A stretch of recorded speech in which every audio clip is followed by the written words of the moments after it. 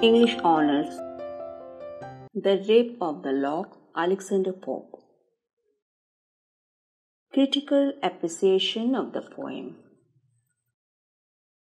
The Rape of the Lock has been justly pronounced by critics as Pope's masterpiece.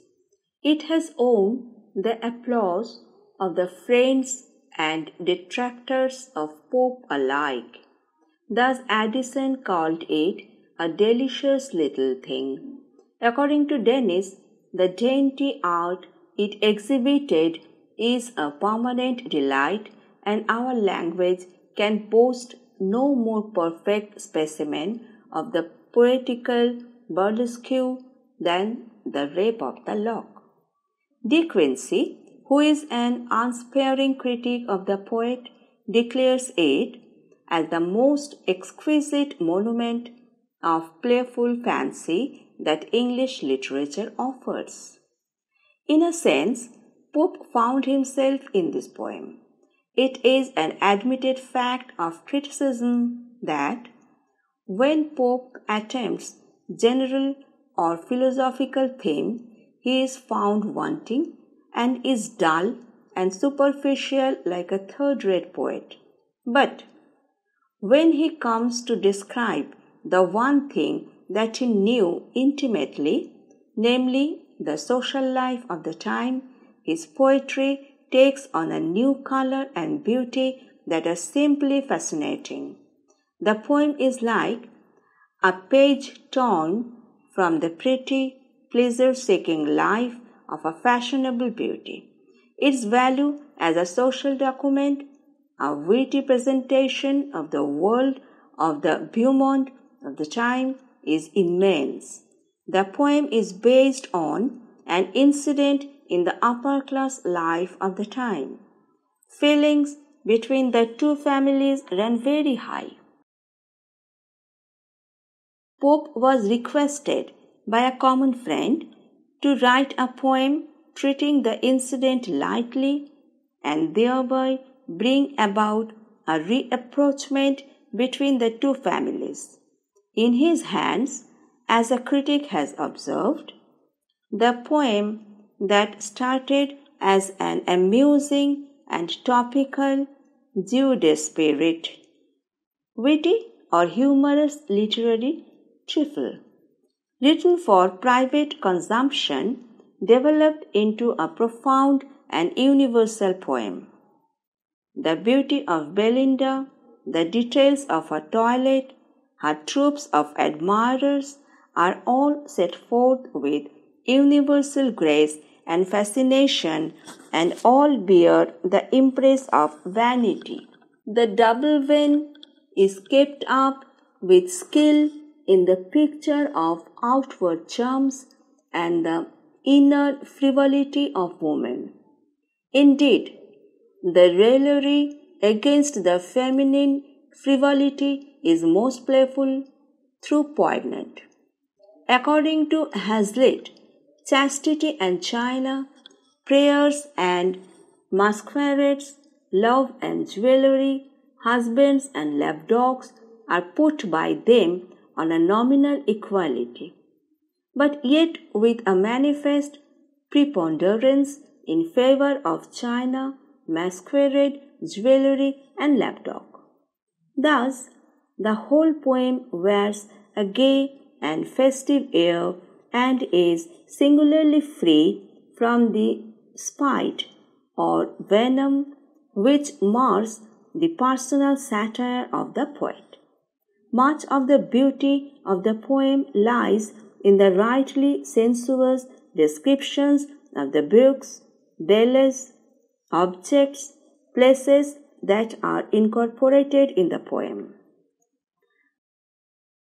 But perhaps the greatest charm of the poem lies in the humorous epic treatment of trivial theme with a delicate fancy with impish humor. It is this which takes off the edge or keenness of the satire and makes it so playful, delicious, and enchanting. The poem is the perfection of the mock heroic, the apotheosis of foppery and folly. According to Professor Cazamian, it was the golden age of the mock heroic. Imitation of the ancient models of the gravity of their artistic skill was the accepted creed of the classical school of Pope. They aspired after big subjects and composition of the epic on the classical model. But their creative mood, unable to sustain itself on a grand and lofty theme, often stops at the compromise of a mock heroic intention. Thus, their critical and none too creative impulse finds outlet in imitating the ancients in a vein of mockery. This is the genesis of the mock heroics of the age. Here, a trifling thing, the rape of the lock of a fashionable belle by a beau, is set in a grand epic framework as if it were as important as the rape of Helen of Troy. So, the poem of Pope is a kind of modern Iliad with this difference that in the one it is a woman that is raped, while in the other it is the lock of a woman that is raped. The anticlimax is ludicrous in its extremes, and the whole thing is treated in a burlesque manner with all the conventional properties of epic poetry, invocation, supernatural machinery, battles in which gods take share, journey to the underworld, etc. The game of Ombre and the battle between the Beaux and Belles are described with a Homeric vigor and straight lines. The toilet is described as if it were a solemn religious ritual. The history of a silver bodkin is given with all the pomp of heraldry befitting a knight of romance. And the discrepancy between the triviality of the subject and the gravity of the treatment keeps the reader doubling with laughter from beginning to end.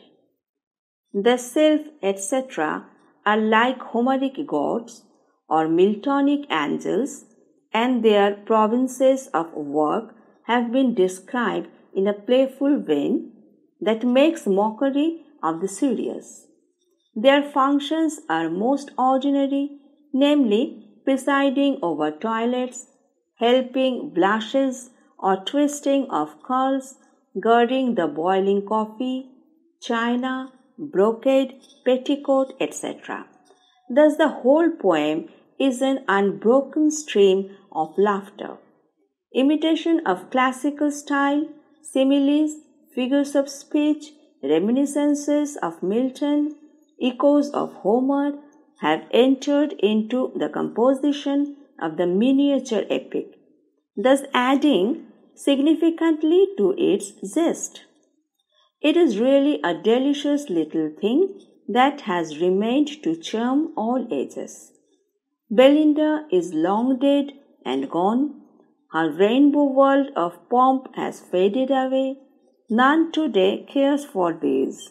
But the poetry of this delicious piece cannot die. If you like my video, then subscribe my channel. Click the bell icon so that when my next video will be uploaded immediately you will be notified of that. If you have any question put it in the comment box and i will solve it. Please share this video for greater cause